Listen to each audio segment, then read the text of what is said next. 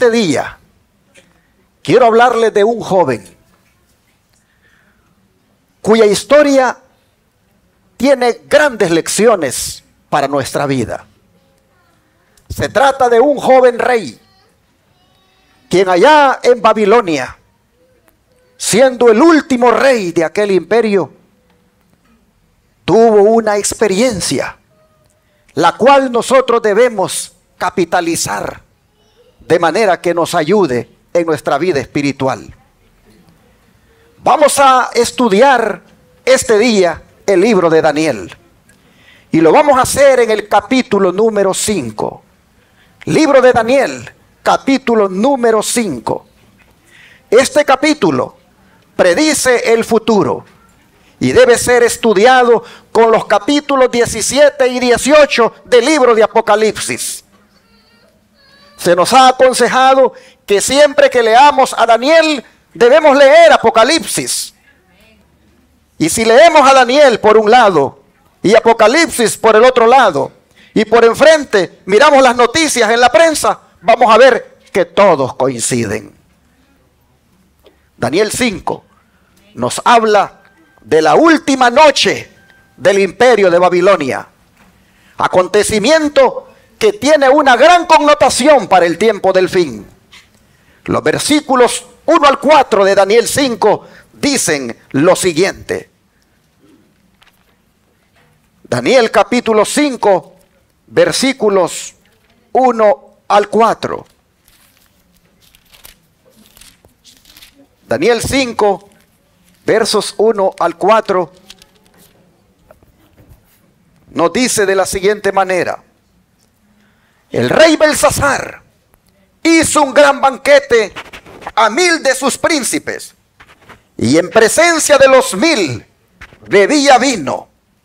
Belsasar, con el gusto del vino, mandó que trajesen los vasos de oro y de plata que Nabucodonosor su padre había traído del templo de Jerusalén, para que bebiesen en ellos el rey y sus grandes, sus mujeres y sus concubinas. Entonces fueron traídos los vasos de oro que habían traído del templo de la casa de Dios que estaba en Jerusalén. Y bebieron en ellos el rey y sus príncipes, sus mujeres y sus concubinas. Bebieron vino y alabaron a los dioses de oro y de plata, de bronce, de hierro, de madera y de piedra.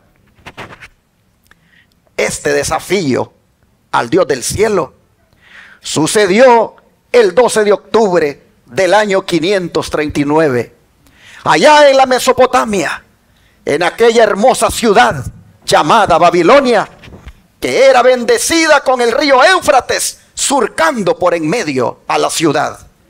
Nunca se imaginó el rey Belsasar que aquella sería la última fiesta de su vida, como también la última noche de Babilonia. Nunca pensó que esa noche caerían ellos como imperio, que esa noche se cumplirían las palabras de Daniel 2 que Dios había dicho a su abuelo Nabucodonosor. Palabras que decían, tú eres la cabeza de oro, pero los pechos de plata de la imagen que soñaste, estos equivalen a otro reino que se levantará y les ha de reemplazar. En una clara alusión al reino medo-persa. En otras palabras, hermanos y hermanas, aquí en Daniel 5 tenemos la transición del oro hacia la plata, de la gran imagen de Daniel 2 y de león hacia el oso de Daniel 7. De manera que Belsasar era el último rey del imperio y no lo sabía. Como tampoco sabía que aquella sería la última noche de su vida. Y es que hermanos y hermanas, no se nos olvide que todos aquí tendremos una última noche. Los que están allá atrás tendrán su última noche. Los que están en medio tendrán su última noche. Los que están aquí adelante tendrán su última noche. Yo tendré mi última noche. Oh, mis hermanos, solamente que cuando esa llegue, ojalá nos encuentre tomados de la mano del Señor. Y no como este rey que fue encontrado inmerso en los placeres de este mundo, dedicando una fiesta a sus dioses paganos y emborrachando a muchísima gente. Nosotros vemos aquí a Babilonia embriagando con el vino a hombres y mujeres que ocupaban importantes puestos políticos en aquel entonces. Igual como lo hace la Babilonia espiritual de hoy con sus falsas doctrinas. En aquella fiesta, el rey hizo por lo menos cinco cosas que desafiaron a Dios. Número uno, hizo un gran banquete que promovió la intemperancia. Algo que nubla la mente y degrada al ser humano.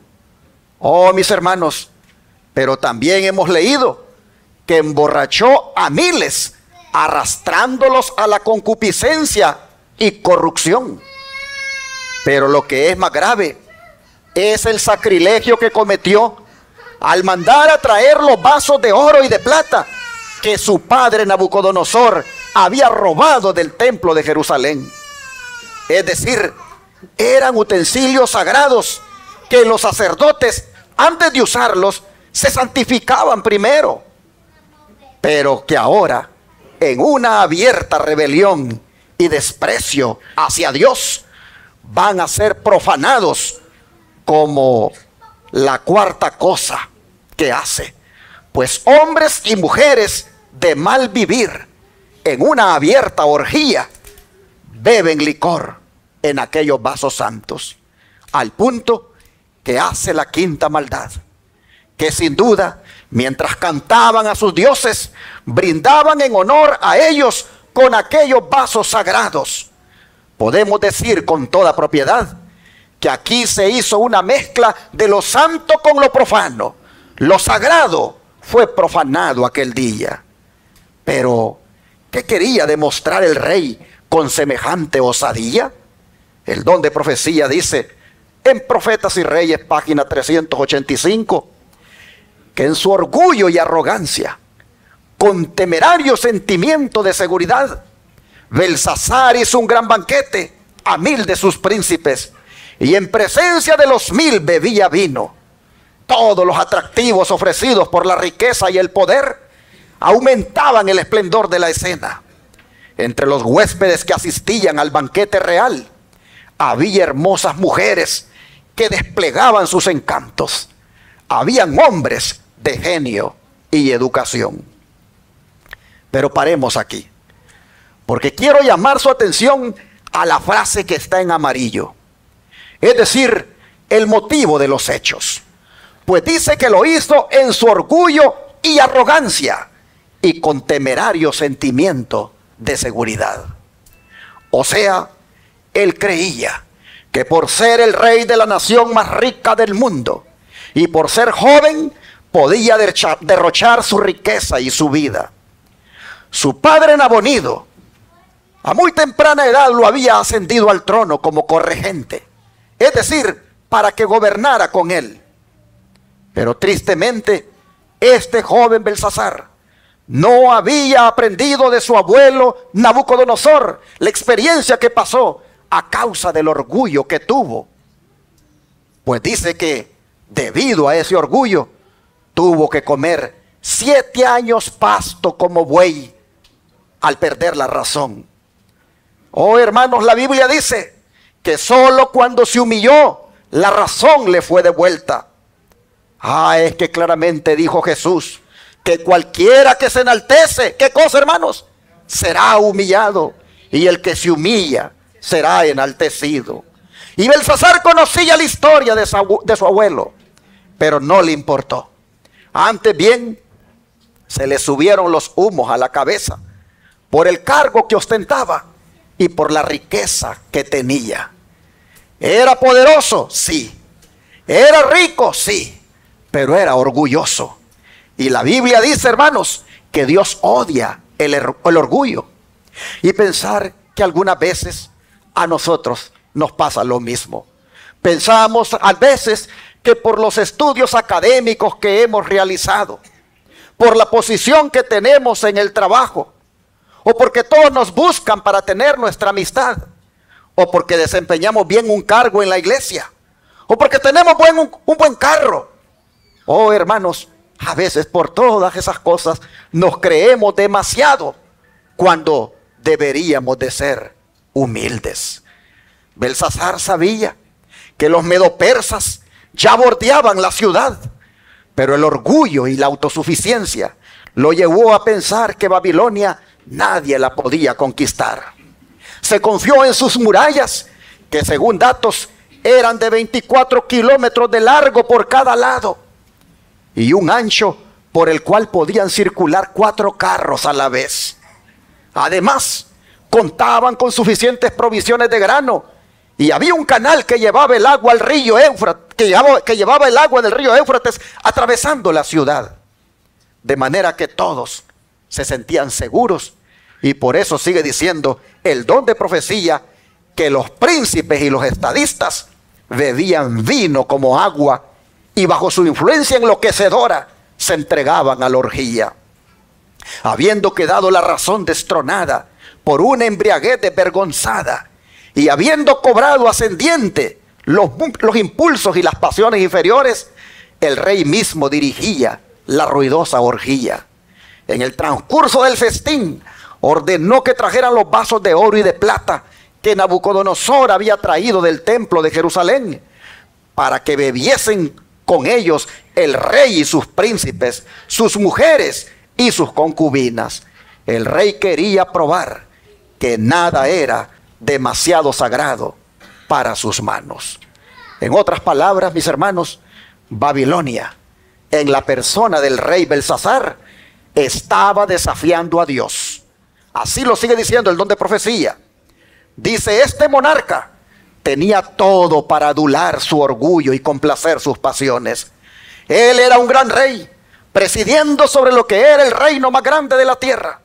Sus provincias eran cultivadas por cautivos y su capital era enriquecida por el despojo de naciones.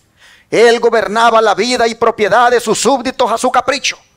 A quienes ministraban a su orgullo y vanidad, él era complaciente. Ellos eran sus selectos favoritos. Pero si en cualquier momento se oponían a su voluntad, en ese momento se volvía cruel y tirano. Su ira se lanzaba contra ellos sin restricción alguna. Admitido para compartir en autoridad real a los 15 años de edad, Belsasar se gloriaba en su poder y alzó su corazón contra el Dios del cielo.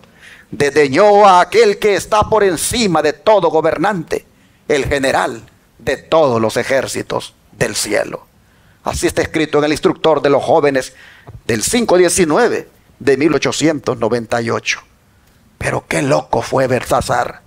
¿Cómo se le ocurrió despreciar a Dios?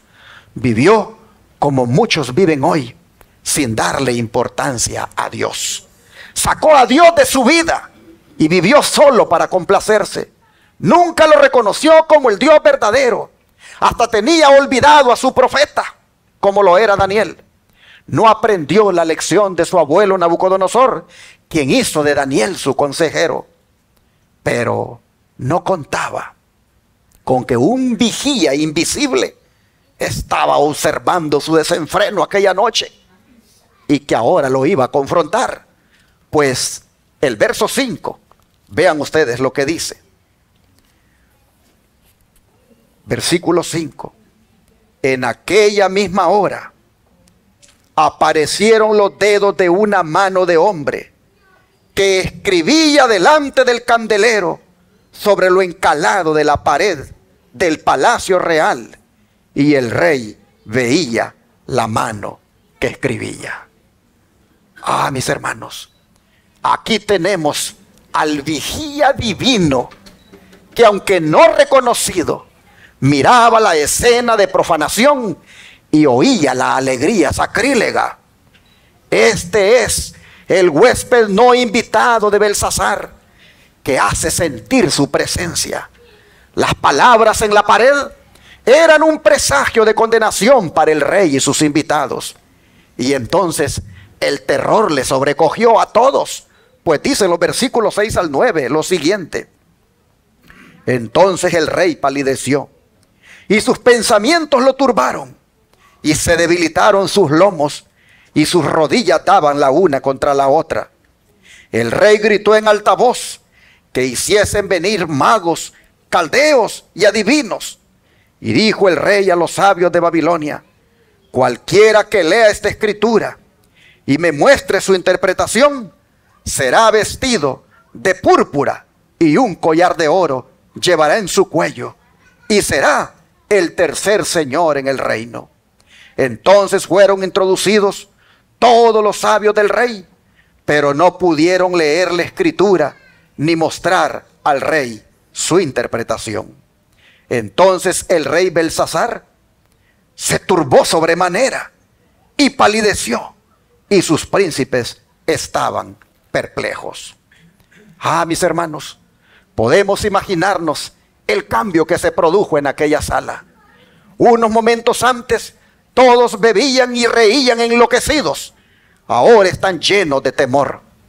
El mismo rey que se levantó de su asiento para ver bien lo que estaba sucediendo y se asustó tanto que se debilitaban, dice, sus lomos y sus rodillas se daban la una contra la otra.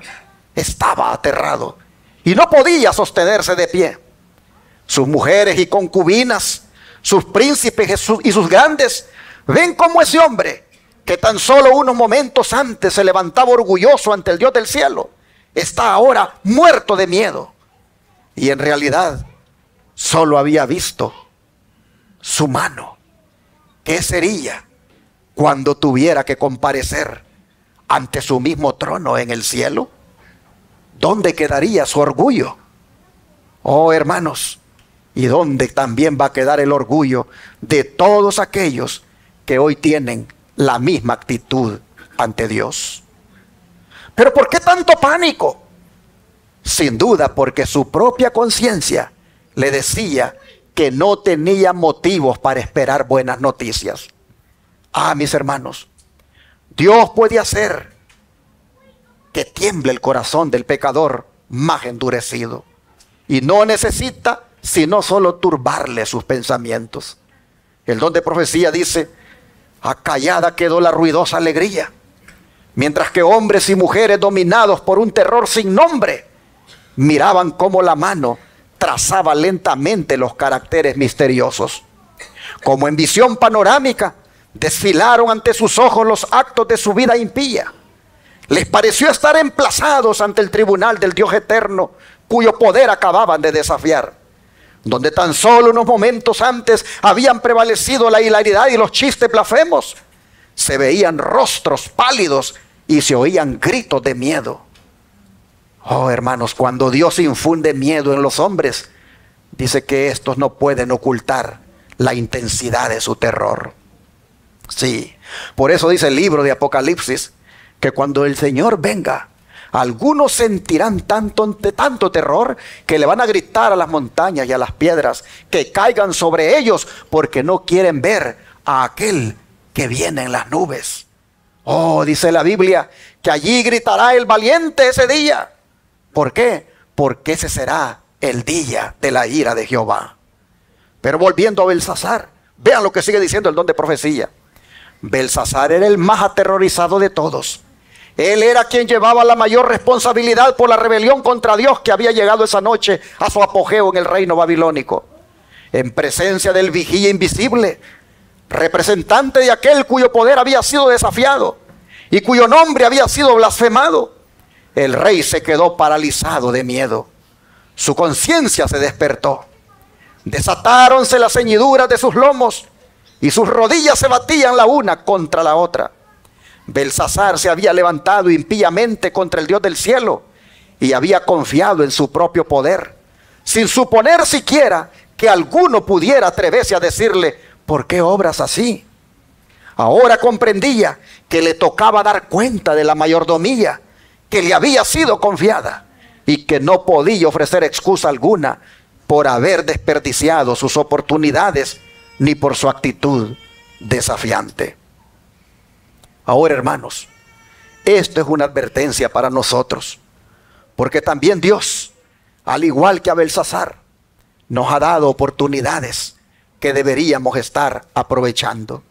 Nos ha dado la oportunidad del arrepentimiento, nos ha dado la oportunidad del perdón y no las hemos aprovechado. Antes bien, hemos decidido hacer fiesta cuando el juicio está encima de nosotros. Hemos decidido comer cuando deberíamos ayunar buscando el perdón de nuestros pecados. Hemos decidido criticar y juzgar cuando deberíamos, deberíamos ver nuestros errores. Hemos decidido robarle a Dios los diezmos y ofrendas cuando deberíamos de ser honrados con Él.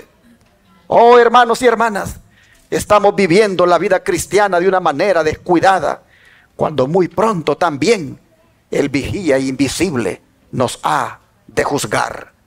Nuestra última noche puede ser ahora. ¿Y qué cuenta le daremos al Señor? Oportunidad tras oportunidad nos ha estado dando para que nos bauticemos, para que nos rindamos a Cristo, para que de una vez nos declaremos y no la hemos aprovechado. Oh, mis hermanos, ¿cuándo? ¿Cuándo nosotros responderemos? Mira, debemos tener cuidado, debemos tener cuidado porque puede ser, puede ser que esta sea nuestra última noche. ¿Y cómo nos hallará el Señor? Nos encontrará profanando también como Belsasar lo sagrado, convirtiéndolo en algo común. El don de profecía dice que hay algunas formas en que eso se puede dar. Se los pongo acá. En Testimonios para Ministro, página 434 a la 435. La hermana Guay hablando a los pastores les decía, es una verdad, les decía, que debiera hacernos llorar a cada uno de nosotros. La de que los que viven en estos últimos días, sobre los cuales los fines de los siglos han parado, son mucho más culpables que Belsasar. Esto es posible de muchas maneras. Cuando los hombres han tomado sobre sí mismos los votos de consagración, comprometiéndose a dedicar todas sus facultades al servicio sagrado de Dios, cuando ocupan la posición de expositores de la verdad bíblica y han recibido el solemne encargo. Cuando Dios y los ángeles son citados como testigos a la solemne dedicación del alma, el cuerpo y el espíritu al servicio de Dios. Los hombres que ministran en un sagrado oficio profanarán las facultades que Dios les ha concedido dedicándolas a propósitos impíos. Serán arrastrados los vasos sagrados a quienes Dios ha de usar para una obra elevada y santa de su alta y dominante esfera para comprometerse en concupiscencias degradantes. ¿No es esto adoración de ídolos de la clase más degradante? Las facultades dedicadas a Dios en una solemne consagración sirven a una ramera porque toda mujer que permita las solicitudes de otro hombre fuera de su esposo, que escuche sus insinuaciones y cuyos oídos se complazcan en la expresión de pródigas palabras de afecto, de adoración o de cariño, es una adúltera y una ramera.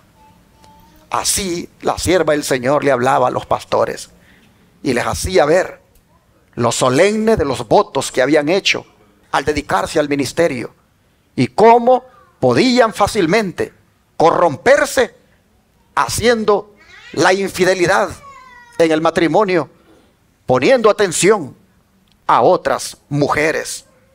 Pero hermanos y hermanas, esto debe ser aplicado también a nosotros. Pues como esposos, también el enemigo quiere que invalidemos los votos matrimoniales. Ojalá que todos aquí como esposos seamos fieles hasta que la muerte nos separe. Y que no se nos apliquen las palabras que acabamos de leer. Y no avergoncemos a los ángeles al transgredir la santa ley de Dios. Ya que eso es la inclinación en estos tiempos. Vean esta otra declaración. De Review el 24 de noviembre de 1904. Muchos de los que profesan estar guardando los mandamientos de Dios están siguiendo la inclinación en lugar del deber. Como se encuentra ahora, son dignos de la vida eterna. A estos descuidados e indiferentes diría, bueno, voy a leer otra parte que leí mal, como se encuentran ahora, son indignos de la vida eterna. A estos descuidados e indiferentes diría, vuestros pensamientos vanos, vuestras bruscas palabras, vuestros actos egoístas están registrados en el libro del cielo. Los ángeles que estuvieron presentes en la idolátrica borrachera de Belsasar están a vuestro lado cuando deshonráis a vuestro redentor. Tristemente se apartan agraviados cuando de nuevo crucificáis a vuestro redentor y le ponéis en oprobio. Qué solemnes palabras, hermanos, estas que hemos leído. Y para los jóvenes también hay amonestación, miren ustedes. En el instructor de los jóvenes del 9 de noviembre de 1893, dicen todas las reuniones de los jóvenes y ancianos, hay presente una visita no invitada, un testigo celestial, así como hubo testigo en la sacrílega fiesta de Belsasar.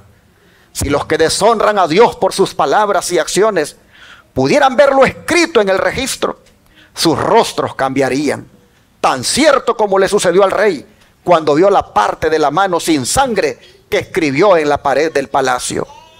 Pudierais pensar que estáis pecando en secreto o pudierais ser enteramente indiferentes hacia el asunto. Pero a pesar de todo eso, cada palabra deshonrosa hablada contra Dios traerá su segura recompensa. Así que jóvenes y adultos, lo mejor es no pecar ni en secreto ni en público. Mira, joven y adulto, esta otra declaración. Si la cortina pudiera ser abierta ante los jóvenes que nunca han entregado sus corazones a Dios, junto con otros que son cristianos solo de nombre, pero que no están renovados de corazón ni santificados en temple, oh, dice, si esa cortina se pudiera abrir, verían que el ojo de Dios siempre está sobre ellos y se sentirían tan perturbados como el rey de Babilonia. Reconocerían que en cada lugar, en cada hora del día, existe un santo vigilante que cierra cada cuenta y cuyo ojo toma en cuenta toda la situación, ya sea una de fidelidad o de deslealtad y decepción. Así que hermanos y hermanas, no nos descuidemos, que siempre estamos a la vista del Señor. Donde quiera estemos, donde quiera andemos, con quien hablemos y lo que hablemos, todo el Señor lo mira y lo oye. Y si estas declaraciones son solemnes, la que sigue lo es aún más. Dice, el mismo testigo que registró lo profano de Belsasar está presente con nosotros donde quiera que vayamos. Joven, señorita, quizá no reconozcáis que Dios os está observando. Pudierais sentir que estáis en libertad para seguir los impulsos del corazón natural, que podéis complacer la liviandad y las bagatelas. Pero de todas estas cosas debéis de dar cuenta. Cosecharéis lo que sembraréis y estáis quitando el fundamento de vuestra casa, robando a la mente de su vitalidad y vuestros nervios de su fuerza mediante la disipación y complacencia del apetito y pasión. Tendréis que rendir cuenta a aquel que dice, yo conozco tus obras. Y una de las cosas, hermanos, en la cual uno fácilmente es vulnerable para profanar es el Santo Sábado. El Santo Sábado, hermanos, fácilmente se puede profanar como Belsasar profanó los vasos santos. El don de profecía lo dice de esta manera. En Science of the Time, 27 de julio de 1891, sobre cada página de la palabra de Dios, el llamado a la obediencia está claramente escrito. Y no obstante, cuán a menudo sus mandamientos son livianamente tratados o totalmente puestos de lado. El mandato para la observancia del santo sábado del Señor es puesto en el mismo corazón del decálogo y está tan claro que nadie necesita errar en cuanto a su importancia. Y no obstante, es tratado con tan grande profanación como lo fueron los sagrados vasos en la fiesta de Belsasar. Dios santificó y bendijo el séptimo día, separándolo para ser observado como tiempo sagrado. Sin embargo, el sábado del Señor ha sido usado como un día común de trabajo Mientras que un día que no posee santidad alguna ha sido puesto en lugar del día santificado por Dios. El mundo religioso ha aceptado el error por verdad y muchos que pretenden ser hijos de luz son los hijos de las tinieblas. La condenación de los que pisotean el santo sábado de Dios y exaltan un sábado instituido por el hombre de pecado no llegará por haber ellos observado con sinceridad el primer día de la semana, sino porque desdeñaron las oportunidades de escudriñar las escrituras y de aprender no lo que el hombre ha dicho, no lo que los ministros dicen, no lo que los padres han dicho, sino qué dice el Dios infinito. ¿Qué fue lo que mandó al hombre honrar cuando habló con voz audible desde el Sinaí? Esa voz ha de ser obedecida por encima de cualquier otra. Los edictos de reyes y naciones quedan nulos ante el mandato de Dios. El Señor de los ejércitos exige nuestra obediencia. Gracias.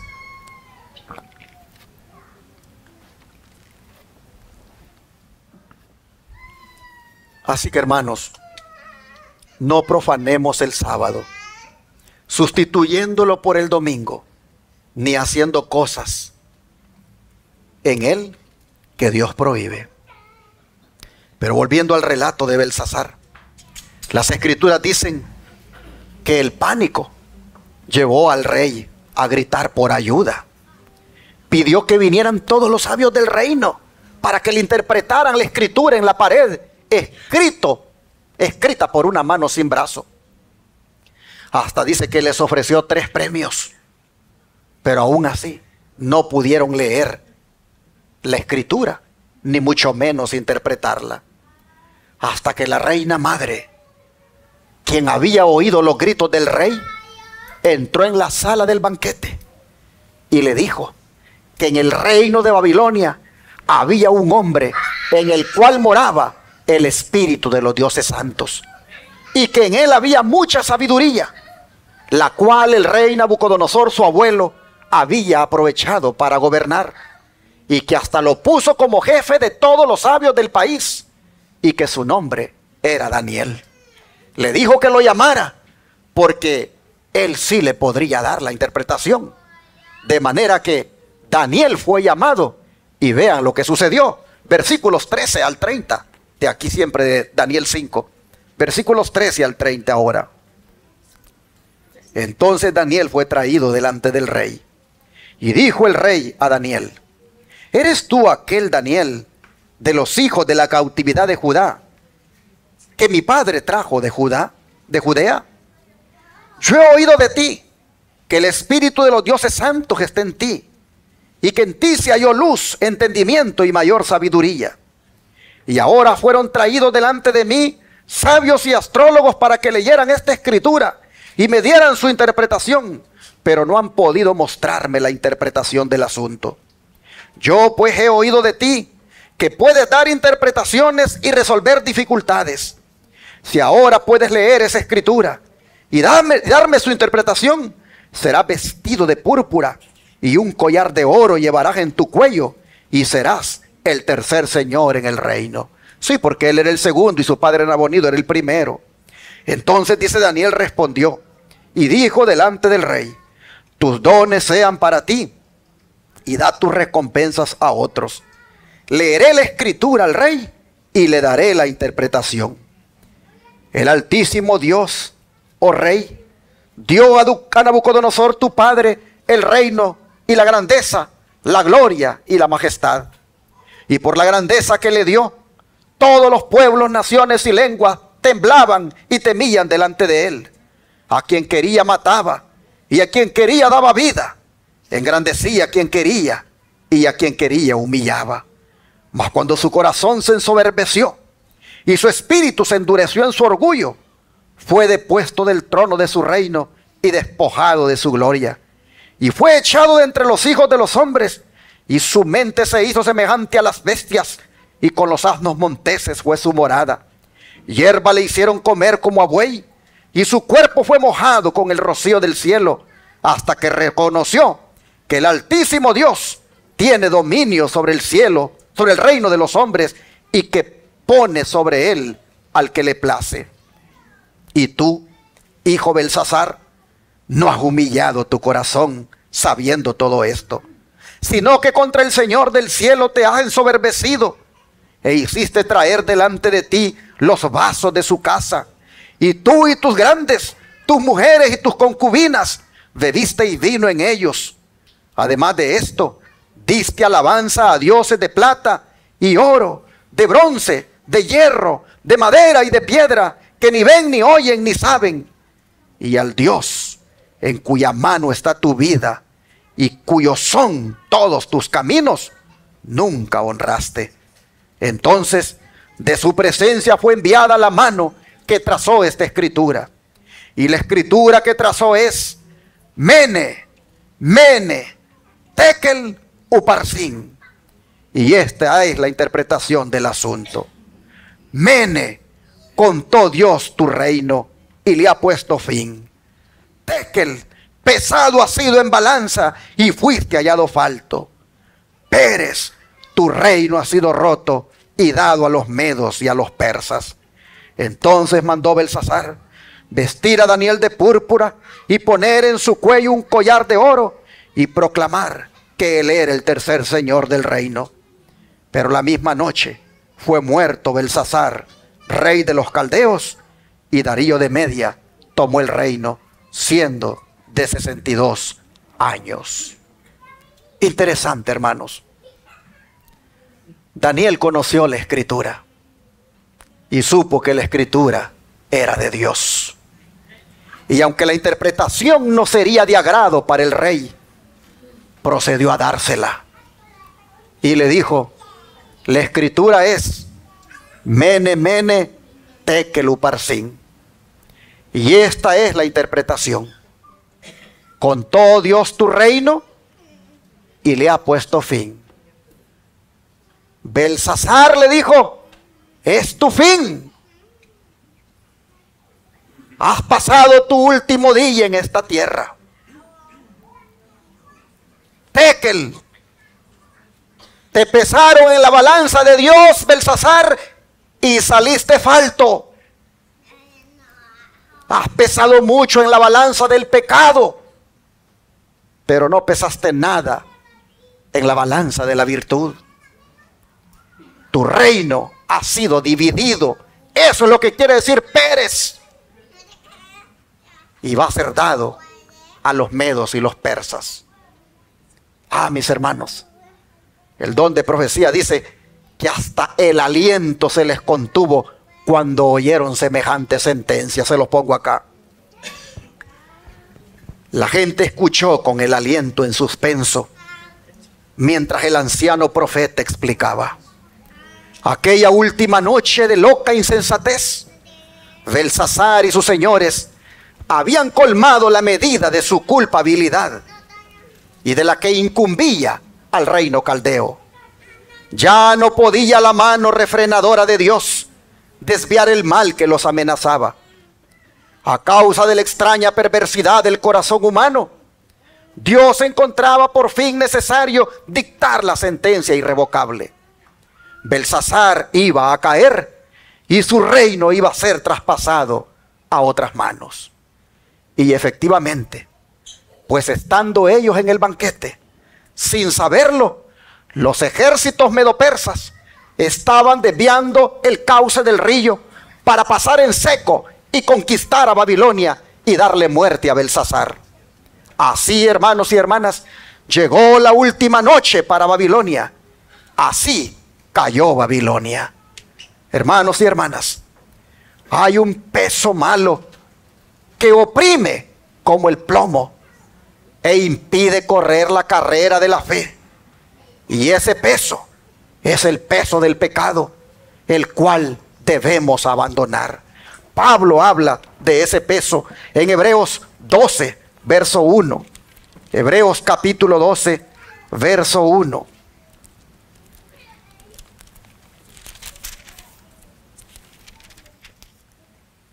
Por tanto, nosotros también, teniendo en derredor nuestro tan grande nube de testigos, despojémonos de todo peso y del pecado que nos asedia y corramos con paciencia la carrera que tenemos por delante.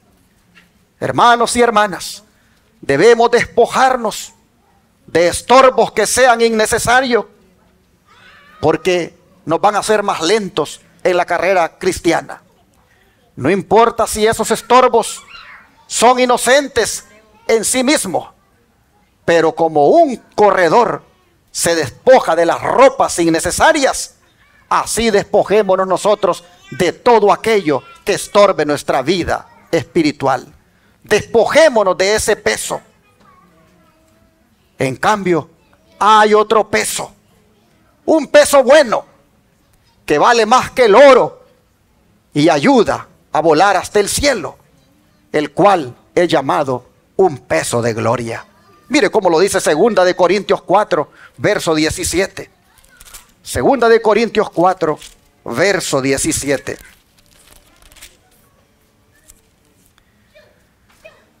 Porque esta leve tribulación momentánea produce en nosotros un cada vez más excelente y eterno peso de gloria. Este, hermanos y hermanas, es el peso que hace bajar el platillo de la balanza, el peso de la gloria celestial. Y nuestra mirada debe estar en ese peso, buscando que cada día incline la balanza. La pregunta en esta mañana es, ¿cuál es tu peso, mi hermano? ¿Cuál es tu peso, mi hermana? ¿Cuál es tu peso, querido joven? ¿Cuál es tu peso, querida jovencita? ¿En cuál balanza pesas tú más? ¿En la del pecado o en la de la virtud? Recuerda, Dios nos está pesando en la balanza divina, en la balanza divina del santuario celestial. El don de profecía lo dice así. Dios está pesando nuestros caracteres, nuestra conducta y nuestros motivos en la balanza del santuario. Será asunto temible el ser pronunciado falto en amor y obediencia por nuestro Redentor, quien murió sobre la cruz para atraer nuestros corazones hacia Él. ¿Dónde está la balanza con la cual Dios nos está pesando, hermanos? Allá en el santuario.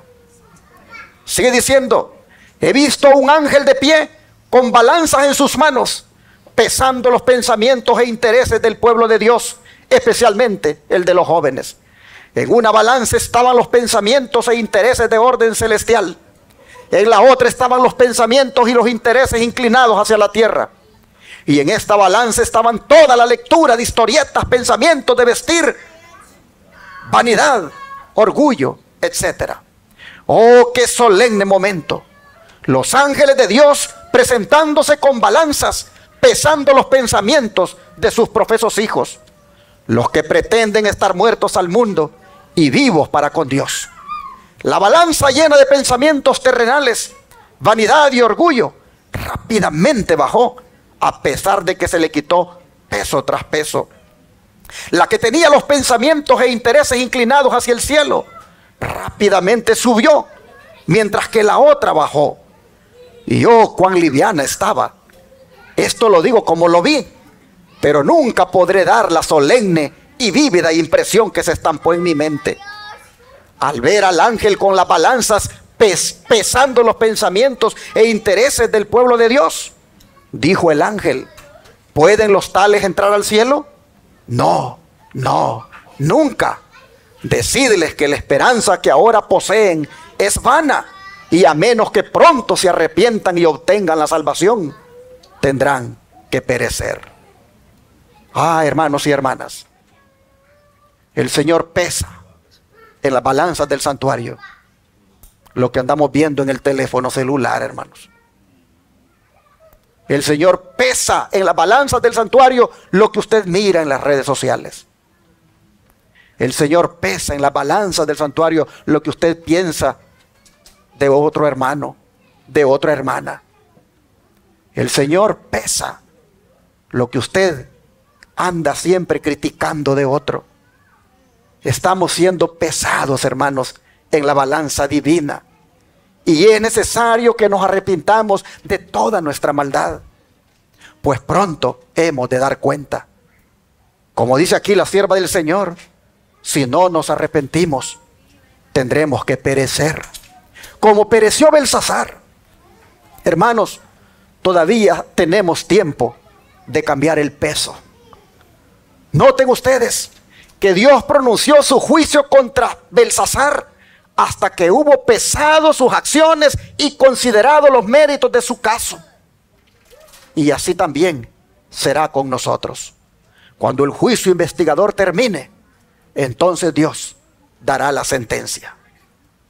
Pero como dije hermanos, al principio, esta historia de la última noche de Babilonia tiene una connotación para el tiempo final y es profética. Pues a manera de presagio nos habla de la caída de la Babilonia moderna del tiempo del fin, es decir, la Roma papal. Esa iglesia simbolizada por Babilonia en Apocalipsis nos ha sido revelado que también caerá por desafiar a Dios tocante a la doctrina y embriagar al mundo con ella, como también por ser cruel perseguidora del pueblo de Dios. Su pecado y su caída están descritos en Apocalipsis 17 y 18. Les invito a leer Apocalipsis capítulo 17 y el verso 18. Y, perdón, y el capítulo 18, pero vamos a leer primero del 17, los versículos 3 al 6. Apocalipsis 17, versículos 13 al 3 al 6. Dice así, Apocalipsis 17, 3 al 6.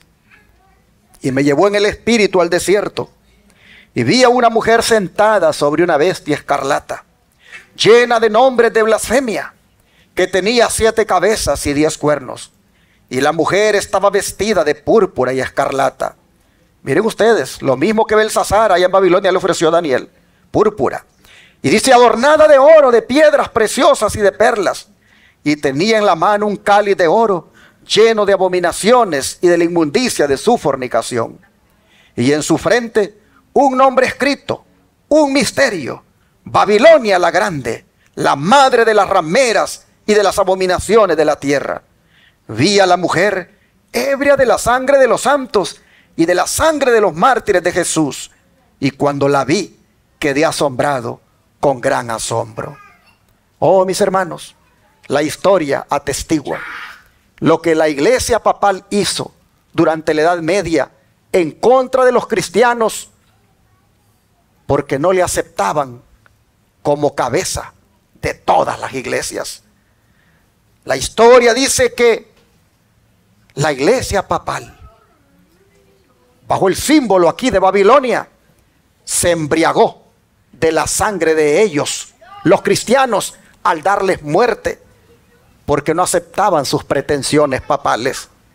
Por eso, como la Babilonia de antaño, también esta Babilonia será castigada. Pues ve Apocalipsis 18, del 1 al 9, lo que dice. Después de esto vi a otro ángel descender del cielo con gran poder. Y la tierra fue alumbrada con su gloria. Y clamó con voz potente diciendo, ha caído, ha caído la gran Babilonia y se ha hecho habitación de demonios y guarida de todo espíritu inmundo y albergue de toda ave inmunda y aborrecible. Porque todas las naciones han bebido del vino del furor de su fornicación. Y los reyes de la tierra han fornicado con ella. Y los mercaderes de la tierra se han enriquecido de la potencia de sus deleites. Y oí otra voz del cielo que decía, salid de ella, pueblo mío para que no seáis partícipes de sus pecados, ni recibáis parte de sus plagas, porque sus pecados han llegado hasta el cielo, y Dios se ha acordado de sus maldades. Dadle a ella como ella os ha dado, y pagadle doble según sus obras. En el cáliz en que ella preparó bebida, preparadle a ella el doble. Cuanto ella se ha glorificado y ha vivido en deleites, tanto dadle de tormento y llanto, porque dice en su corazón, yo estoy sentada como reina y no soy viuda y no veré llanto. Por lo cual, en un solo día vendrán sus plagas, muerte, llanto y hambre. y será quemada con fuego, porque poderoso es Dios, el Señor, que la juzga.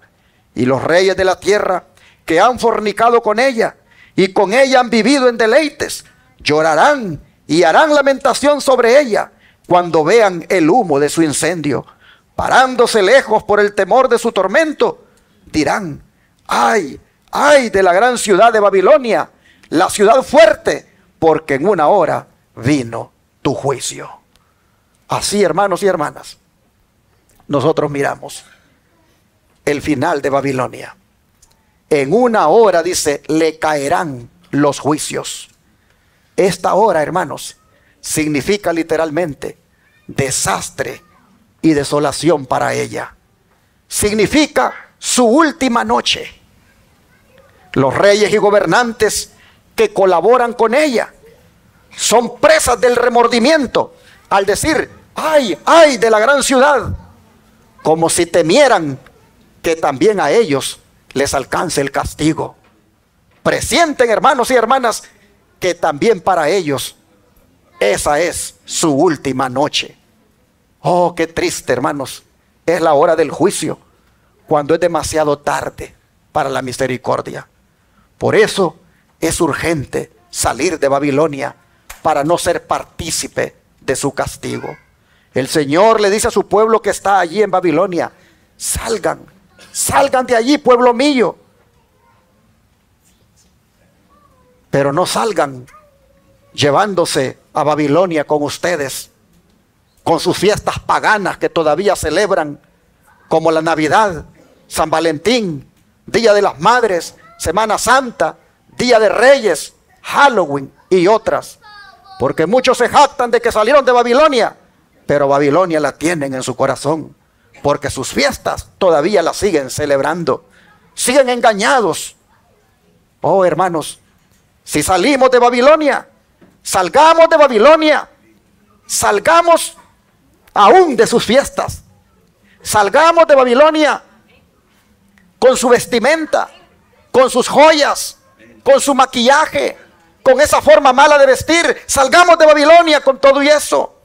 No vengamos a decir que somos cristianos, no vengamos a decir que pertenecemos a la iglesia del Señor, pero todavía pintándonos como se pinta Babilonia.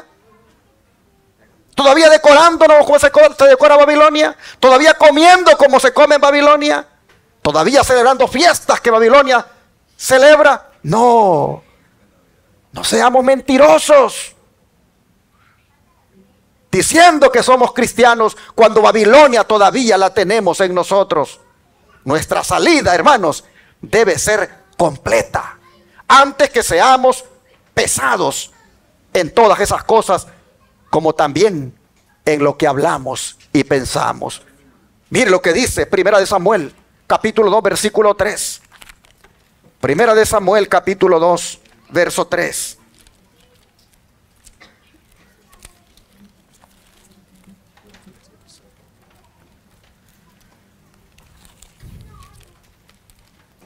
Primera de Samuel 2, verso 3 nos dice,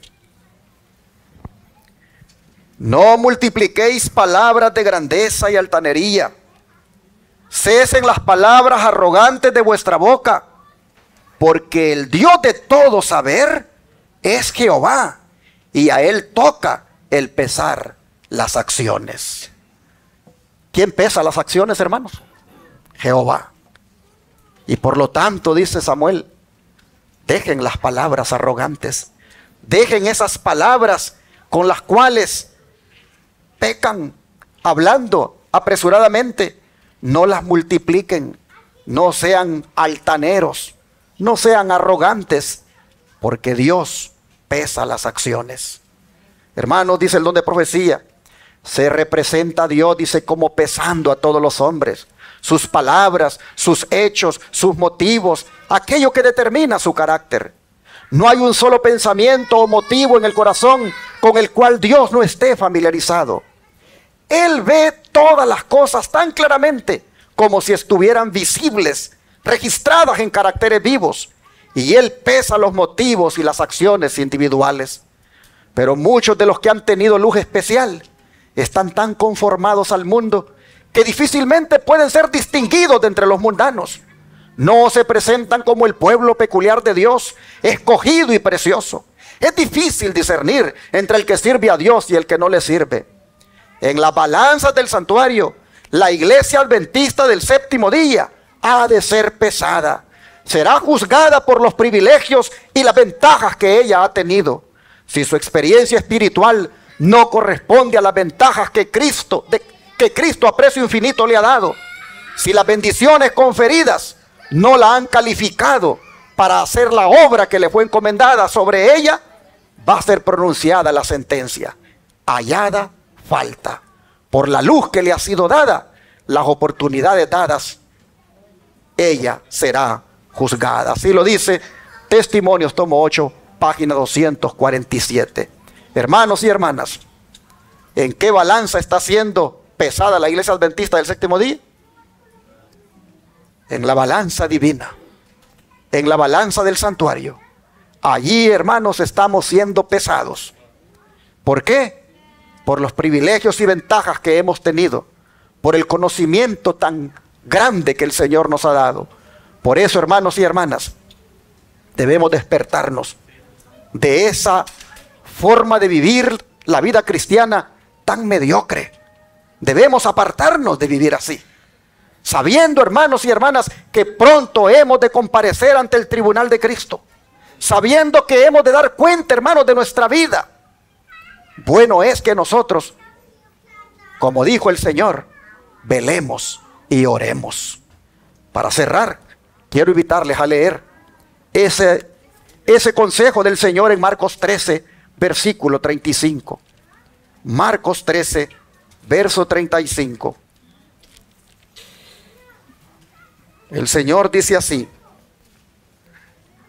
velad pues, porque no sabéis cuándo vendrá el Señor de la casa, si al anochecer o a la medianoche, o al canto del gallo, o a la mañana.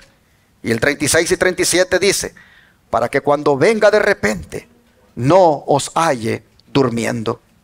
Y lo que a vosotros digo, a todos lo digo, velad. Hermanos y hermanas, este es el consejo del Señor. Velemos en oración y estudio de la palabra de Dios, para que cuando llegue, mis hermanos, nuestra última noche, nos encuentre en paz con Dios.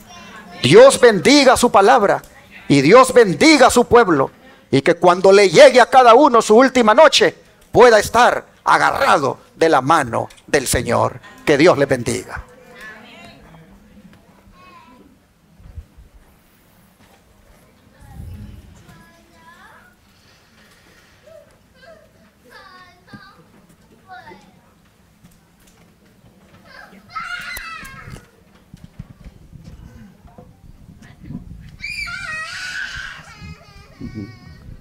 Puestos en pie, hermanos, vamos a entonar el himno número 493.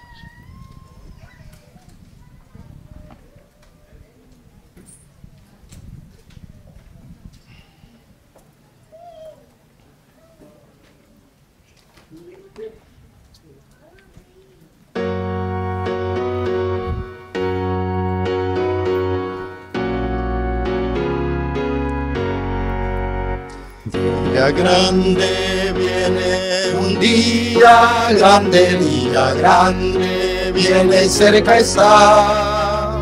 Cuando justos y malos separados quedarán, oh hermano apercibido estás. Te listo, te listo para el fallo del gran tribunal te listo, te hayas listo para el tribunal. Día triste viene, un día triste, día triste viene y cerca está. Cuando el pecado en los conozco, pues mira, un hermano apercibido estás. Te te hayas listo para el fallo del gran tribunal. Te haya listo, te haya listo para el tribunal. Alegre viene un día alegre, día alegre, viene cerca está. Mas su luz brilla solo en los que aman al Señor. Oh hermano, apercibido estás. Te haya listo, te haya listo para el fallo del gran tribunal. Te haya listo, te haya listo para el tribunal.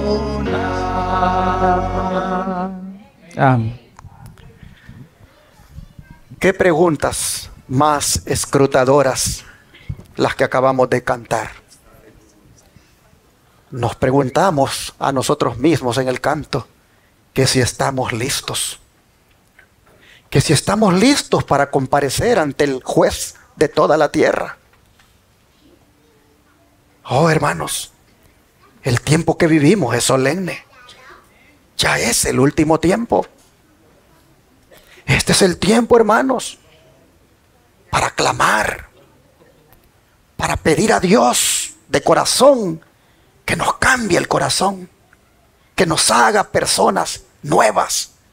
Este es el tiempo, hermanos, de que vivamos de tal manera que si fuera nuestra última noche hoy, o si fuera nuestra última noche en lo que falta del año, podamos nosotros morir en paz con el Señor.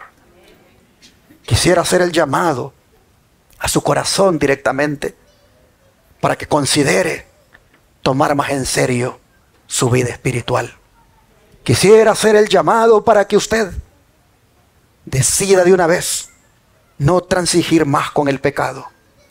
Porque quiera usted o no quiera, usted va a comparecer ante el tribunal de Cristo.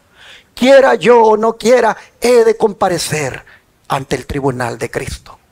De manera que antes que Él sea nuestro juez, hagámoslo nuestro abogado. Y como nuestro abogado, hermanos y hermanas, Él ha de defender nuestra vida y nuestra causa. Es necesario caer arrepentidos a los pies de Cristo y dejar todo pecado. Así y sólo así estaremos listos para ese gran tribunal. Vamos a rodearnos para pedirle al Señor que nos ayude.